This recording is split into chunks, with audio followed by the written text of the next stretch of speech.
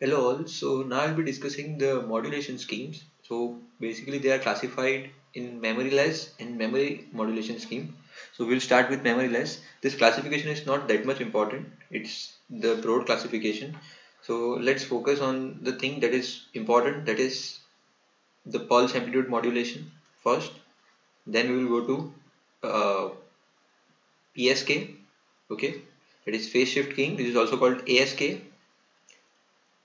right? Then we will go to QAM then FSK and so on. So I'll be discussing in thorough detail what all these stuffs are. So let's start with PAM now first of all why PAM right? So first let us give ourselves a brief overview of the modulation schemes. So basically as we all know that uh, in our channel we need a passband signal right? That is signal with some translated the Fourier transform of the signal should be translated at some higher frequency fc right? So that we can transmit it reliably on the channel. The baseband signal can't travel and this we already know from our previous lecture.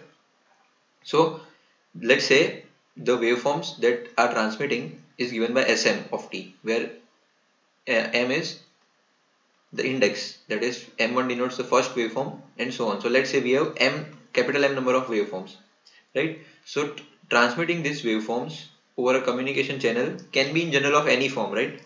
So any form I means that like uh, it should be amplitude modulated that is the uh, information is transmitted in the form of amplitude modulation or phase modulation and so on right? And depending on that we have different different modulation schemes. So very first is PAM so basically as I already said there should be uh, the waveform should differ either in amplitude or in phase or in frequency. Or there might be a possibility of the combination of all this right?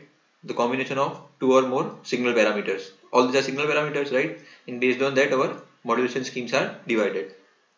Now why it is called memory less modulation scheme? Don't we are not going into this. You will get it eventually in following subsequent lectures. So let's start with the very first the amplitude. So when our information is transmitting, we are transmitting information based on the amplitude changes, right? So that is why it is termed as PAM. So basically with digital PAM, so the digital PAM, in digital PAM, the waveforms may be represented as so the most general form of waveform in PAM signaling can be written as let's say Sm of t our waveform that is we are going to transmit is am into p of t. That is we are having different different amplitudes for different different waveforms. So where m range from 1 to m. That is small m ranges from 1 to capital M right? And p of t that we already know it is nothing but our pulse. As we already know in from our basics of communication digital communication that any waveform to be transmitted through the channel needs to be multiplied with a pulse. This is called pulse shaping filter, right? So let's say it's a pulse of any duration t. Now AM will be set of m possible different amplitudes, m possible different amplitudes corresponding to let's say m equals to 2 power k right? That is k is number of bits per symbol. So m is total number of symbols. Let's say we have 2 bits per symbol right? So our m will be 2 power 2 will be 4 so in total we have 4 symbols. 0 0 0 1 1 0 1 1 this we already know right? So i'm writing in general that corresponds to m equals to 2 power k right? Possible k bit symbol. That is each symbol is denoted by k bits in general k bit block of symbols. Right? Now usually it is said that it it might be through experimentation or something that am will take the values like this. That is odd multiples. That is am usually has odd values where m again ranges from 1 to m. 1 2 3 up till capital m.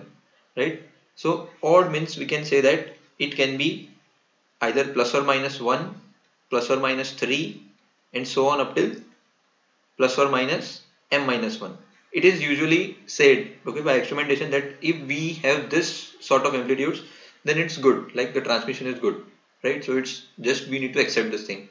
So and for that you can follow the book from Proakis it is uh, McGraw-Hill publication. So the entire lecture is based on McGraw-Hill publication. And the book title is digital communication. Digital communication. And the author is Proakis and there is one more as well Masoud Salehi or something. So you can go through this okay? And my lecture is based on this. So I'm just giving the reference for more information. So you can find this thing over there as well. So now the energy of signal Sm of t okay energy of Sm of t let's say it is given by Em so we know that we can write energy as Sm square t dt and we know what is our Sm the most general form that is amplitude and the pulse both squared. We can take amplitude since it is constant so it's outside and we are just left with p square t dt and we know this p square t dt is nothing but energy of our pulse signal. Energy of pulse p of t. So we can write it in more compact notation em square into ep that's it. So the energy of our sm that is our signal that we are going to transmit is basically given by this thing. Now what if we want average energy? So we have m possible amplitudes capital M right? So we will just divide by m and take the average. Which is a basic formula of average. I am just taking EP outside since it is constant and not depends on index m. So we can write am now because we already know this thing from here that am will be of form this right? So it is basically the summation of squared of odd numbers. And I am giving you this as a as your homework that this thing since it is plus or minus 1 plus or minus 3 and so on so I can write twice of this. And in summation I am just left with 1 square plus 3 square and so on up till m minus 1 square. Right? Now what I'll get is this is your homework that I'm just directly writing just let me know in the comment section after finding it. This summation can be written as m into m square minus 1 by 6 so this will give us 3 here. So at the end our average energy will be let me take the new page that our average energy will be m square minus 1 by 3 and into EP so but note that this is energy per symbol okay per symbol that is our M what if we want per bit energy that is let's say we have new notation EB average so bit energy is nothing but simply the energy of symbol and we have to just divide it by total number of bits. So we will get energy per bit right. So this is the most important equation that we will use to find the distance matrix between two symbols okay later. So let me just keep it in the box and let's name it equation number one. Now from our previous lecture we know that we need a passband signal. But here as you can see we started from the baseband signal because this is a baseband signal. Uh, it is not a high frequency signal right? If you will plot its spectrum it will be around a center frequency that is low frequency right? Somewhere it is rough sketch okay so let's say this is the baseband PAM right so it is energy of baseband band. Now, because as we already know that baseband signal can't travel through the channel and at the end we want our transmission, right? And for that we need the passband signal. So let's move ourselves to this our passband signal. So in general, the passband signals, so let me write the entire sentence that what we seen what we have seen above is the baseband PAM. So in which no carrier was present or no carrier modulation is present. Now what happens that in many cases because in, in practical cases we can say that PAM signals are carrier modulated and we know that carrier modulated signals are nothing but band pass signals so they are carrier modulated band pass signal. Right? And they have low pass equivalent form. Low pass equivalent form like am into g of t. Right? Where both am and g of t are real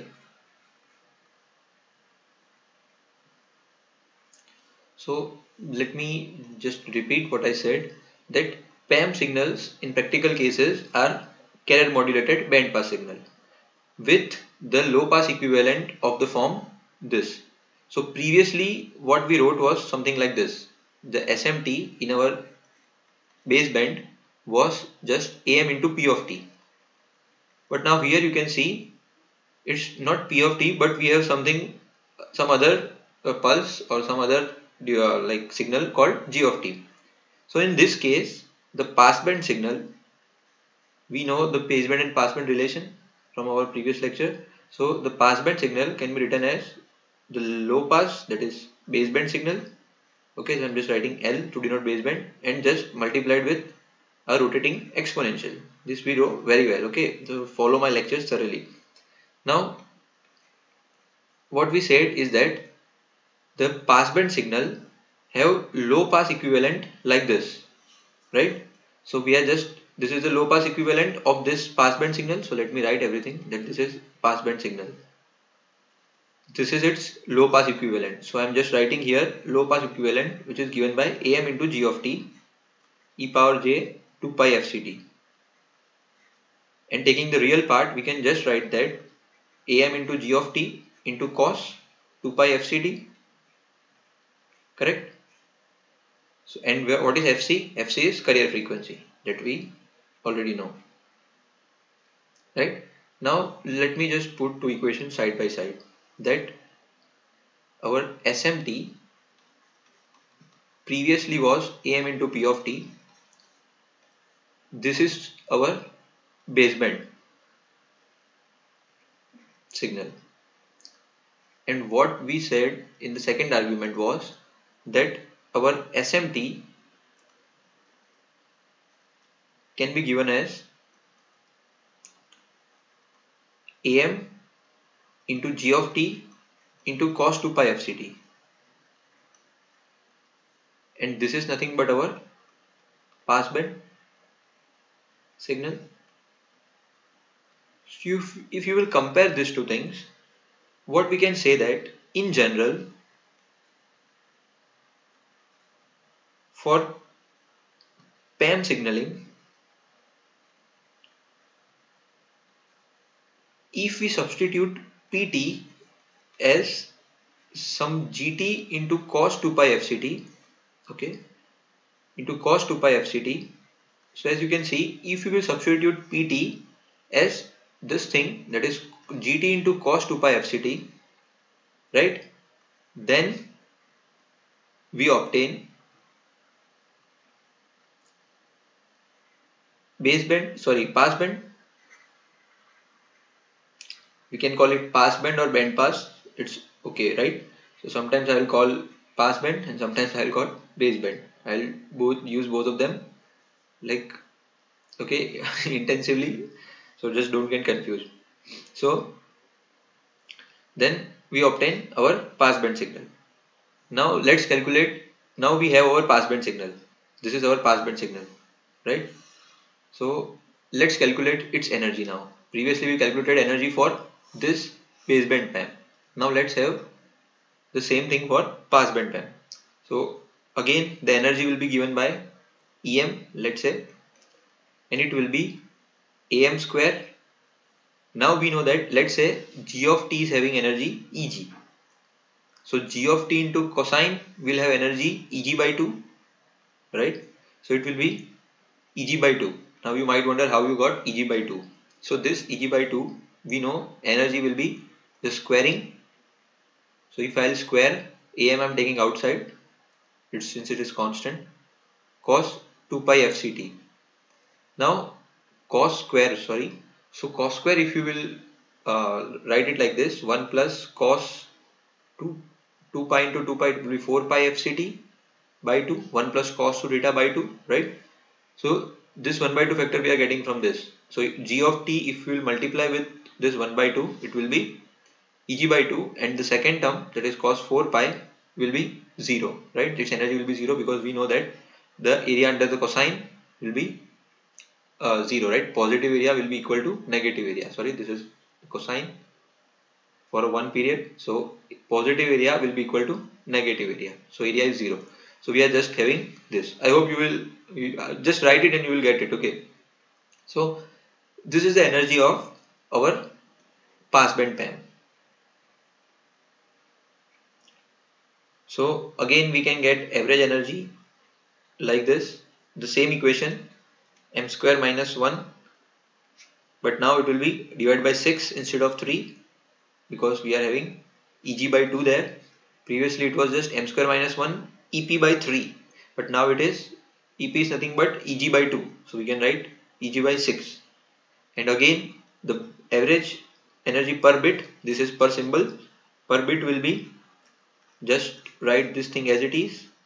And in denominator we will be having total number of bits per symbol. Right? So it is from this relation. I'm just repeating it again that what is what will be k log m to the base 2 right? Which is 2 power k okay? So we got the per bit energy of passband as well right? So now what we want is that we have to have our signal space representation of this PAM signal right? So clearly from above things we can say that PAM signals are 1D signals. How? I'll show you because all are multiples of some basic signals. That is Sm of t was some amplitude in I'm writing in baseband and some signal p of t. And in passband the same thing am but it was we are having some g of t into cos 2 pi fct right? So these are multiples of some basic signals. So they are just 1d signal that's it right. So for 1d signal we will be having just one basis function phi of t. And if we write for uh, baseband then it is nothing but p of t into sorry divided by its energy because we know this is ortho normal function. So its energy should be 1 and we know energy of p of t is ep right? So in this we have to divide it by root ep because we are not writing it energy but we are writing the signal. So it will be root ep here. So we have to divide by root ep so this is for the baseband one. And the same thing we can write for passband as well. Let me change the color. That for passband we can write it as we know passband signal we are having 2 pi fct right? G of t into cos 2 pi fct now we have to normalize this signal to have unit energy. So we have to just multiply by 2 by eg i hope these things are, this, this, these things are clear. Because these are important things that how we can write it directly. We know eg gt is energy eg so we are just dividing by root eg so that we get this signal as our normalized that is the energy of this signal should be 1 and we know cosine has energy 1 by 2 right? We are getting 1 by 2 because cos square will give again 1 plus cos theta by 2 so that 2 is compensated in here I hope things are clear this thing. Right? If you have followed my Gram-Schmidt orthogonalization procedure. So these are two the signal these are two the basis functions and this is for pass band or band pass. So now can we write our signal sm of t because we have we want our signal space representation right? A vector representation that we developed from our Gram-Schmidt process. So am sm of t was am into if I write for pass band sorry base band it will it was p of t. So if I want to write in terms of phi of t can I write it like this? Am under root ep into phi of t. Because we know that phi of t is p of t divided by root ep so root ep and root ep will get cancelled if you will put phi of t in here. And at the end we are just left with our basic equation am into p of t. So now if you won't get like earlier if you find it hard to uh, find the intuition that how I got this then now you can conclude that why I wrote this divided by EP in here right?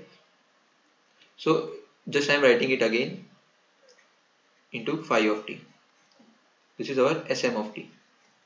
So as you can see that if we have one dimension that is this is our phi of t because we know that this is one dimension only then we can write our signal space or we can plot our signal space as our sm of t will be having am into ep here under root ep and let's say we are considering m equals to 2 case and then we will be having here am into ep but in minus. So it is symbol 0 symbol 1 just a binary case right so this is for m equals to 2 we can uh, like we can include m equals to 4 so we'll get 4 points but everything in one dimension right? So if we have m equals to 4 we will get 4 points. 1 2 this side same on the other side right? This is for m equals to 4 and it will be again 0 0 0 1 1 1 and 1 0 now you might wonder why I'm writing 1 1 here and not 1 0 here. So always we have to follow gray coding that the consecutive symbols should differ in one bit. As you can see these two are differing in just one bit. Similarly these two are differing in just one bit right?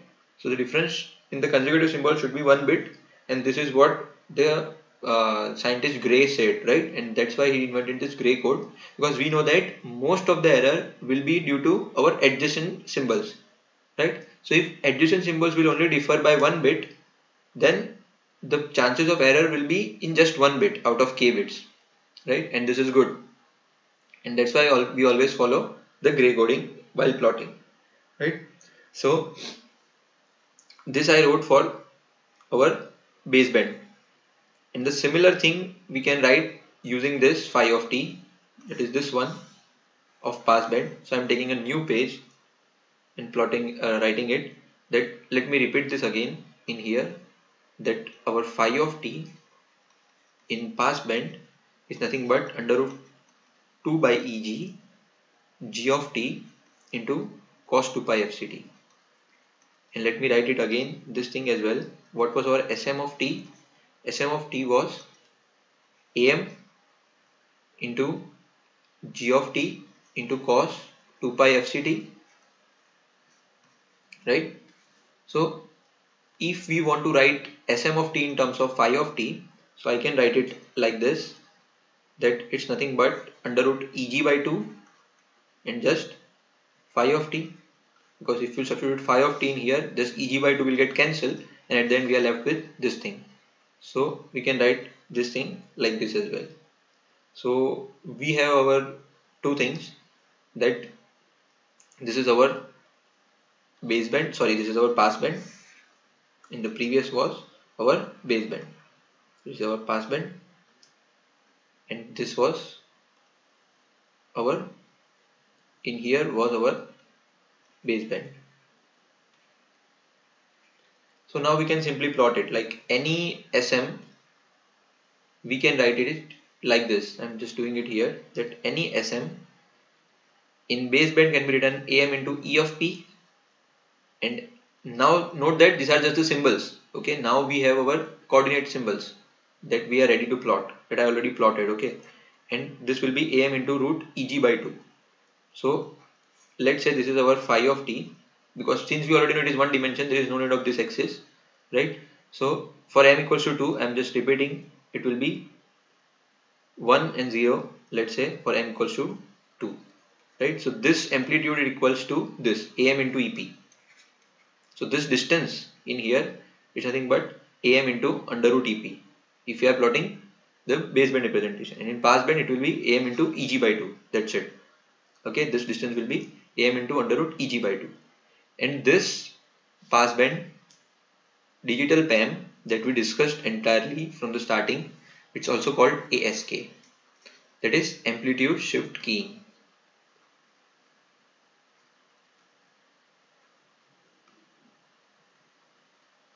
right? Now let's have the distance. That is the Euclidean distance between two symbols right? So again as we will uh, as we will continue our uh, like you can say the method that we will write for passband as well as baseband so the Euclidean distance between two symbols is written as sm minus sn.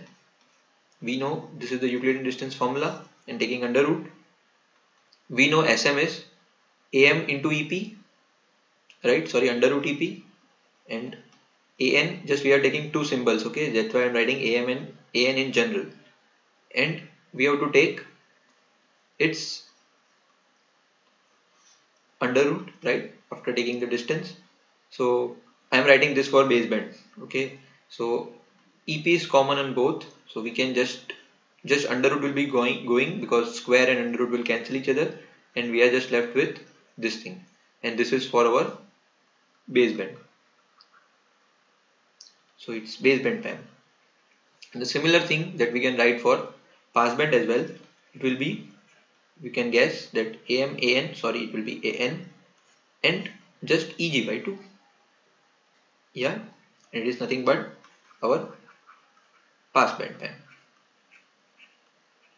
Right now if we want to find minimum distance so we plotted previously in here you can see that the minimum distance will be 2 so if someone will ask to find d minimum so this is d in general between two points the distance between two points m and m n and m and if we want minimum distance then we can write it the minimum as just we have to put this as 2 that's it okay in both the equations. So again we will write for passband and baseband so it will be 2 into under root ep right for baseband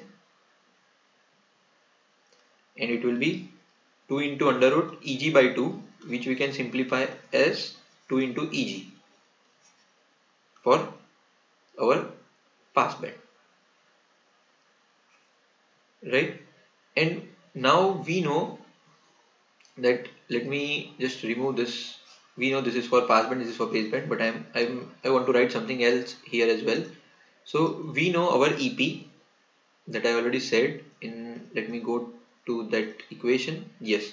So we know this equation right? So from here we can substitute the value of EP in this equation that we just got. So if I'll put EP in here I'll get EB average 3 log to the base 2 of m upon m square minus 1 right so this is the formula of minimum distance in terms of average energy. So you can see average energy and distance are related, right?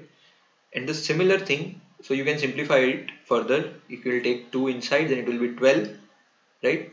So it will be something around 12 log m to the base 2 upon m square minus 1 into EB average, right? So this is for obviously for baseband. So this we completed for baseband and the same thing we can complete for passband as well that we can write the EG formula from our passband that we already know let me go to there as well that this is the EG so we can put EG from here okay just make easy subject and we will get something like this that 2 6 log m to the base 2 upon m square minus 1 into EB average everything in under root. So this is okay uh, this this is for let me have some boundary. Yeah. So this is for the band pass or pass band right? So you can simplify. It will be always again 12 right? So you can see 12 log m to the base 2 upon m square minus 1 into EB average. And the most important thing in here is that the distance you will get is same. Right? And this is what we already want. We want right? This is intuitively true because the distance between either we will consider passband or baseband doesn't matter. What we want at the end is that this two distance should be same right? Because passband and baseband is nothing but just the representation of the same thing in high frequency and low frequency. That's it right? So it should be same right? And if you will not get the same then you are doing something wrong right? And that's it about this video and I'm uh, I am just giving one new term in here that when m equals to 2 right? So as we all know when m equals to 2 we plotted this right? This was our signal s1 and this was signal s2 of t and s1 of t. So these two are opposite of each other. That is s1t can be written as minus of s2 of t. And such signals are called antipodal signals in communication systems or specifically digital communication systems. So these are called antipodal signals right? So this is just for your knowledge that's it. So i hope you uh, enjoyed my video. Thank you